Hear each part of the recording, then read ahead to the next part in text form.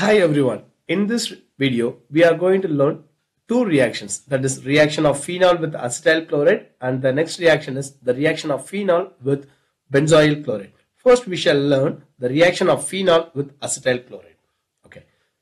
C6H5OH is phenol. What is the formula for acetyl chloride? CH3COCl. Okay. For our convenience, we are writing as like this CH3CO CH3 okay? Now we are going to react it with in presence of sodium hydroxide and pyridine. What happens? This hydrogen and this chlorine will leave as hydrogen chloride. The remaining thing will be united together. C6H5O C double bond O CH3 what is the name of this compound? The name of this compound is acet phenyl acetate. The name of this compound is phenyl acetate. This is an ester. This is an ester. So phenyl acetate is prepared from phenol and acetyl chloride. Acetyl chloride. When phenol reacts with acetyl chloride in presence of sodium hydroxide and pyridine, phenyl acetate is formed. Okay.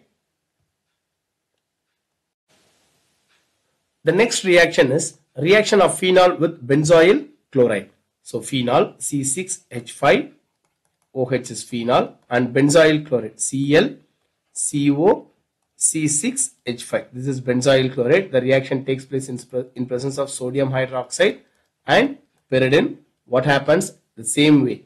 This hydrogen and this chlorine will leave as HCl the remaining thing will be attached together. C6H5 O CO C6H5 the name of this compound is phenyl benzoate what is the name of this compound? Phenyl benzoate phenyl benzoate and this is phenol. Reacts with benzoyl chloride. Sorry uh, yes benzoyl chloride in presence of sodium hydroxide and pyridine, we get phenyl benzoate. So let's summarize the reaction. If we react phenol with benzoyl chloride in presence of sodium hydroxide and pyridine, we get phenyl benzoate.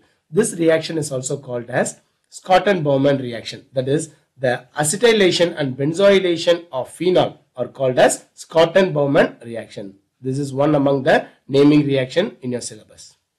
Thank you.